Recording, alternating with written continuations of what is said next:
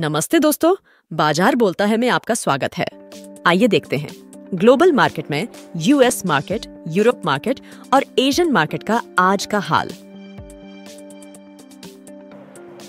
तो आइए देखते हैं। कल के कुछ टॉप गेनर्स और टॉप लूजर्स की लिस्ट।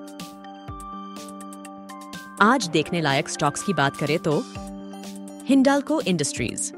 यूएस की सहायक कंपनी नोवेलिस ने बुधवार को सुबह घोषणा की कि वह अपनी बाज़ार की स्थितियों को कोट करते हुए 945 मिलियन डॉलर की इनिशियल पब्लिक ऑफरिंग को अगली तारीख पर पोस्टपोन करने का इरादा रखती है। विप्रो, कंपनी ने घोषणा की है कि वह जॉ स्केलर के साथ पार्टनरशिप्स करने जा रही है, ताकि वह Wipro cyber X ray a assisted decision support platform को पेश कर सके। हिंदुस्तान एरोनॉटिक्स, सुखोई 30 एम विमान आज कंपनी के नासिक डिपार्टमेंट से टेस्ट सॉर्टी पर होते हुए गिरा। दोनों पायलटों ने सुरक्षित रूप से इजेक्ट किया है। पायलटों द्वारा एक तकनीकी खराबी की रिपोर्ट की गई थी। टाटा मोटर्स। कंपनी ने प्रस्तावित डीमर्जर के हिस्से के रूप में पूर्ण ओनरशिप वाला यूनिट, टीएमएल कमर्शियल व्हीकल्स को शामिल किया। NLC India. कंपनी 10 जून को 600 मिलियन डॉलर तक के फॉरेन करेंसी लोन उठाने की विचारणा करेगी।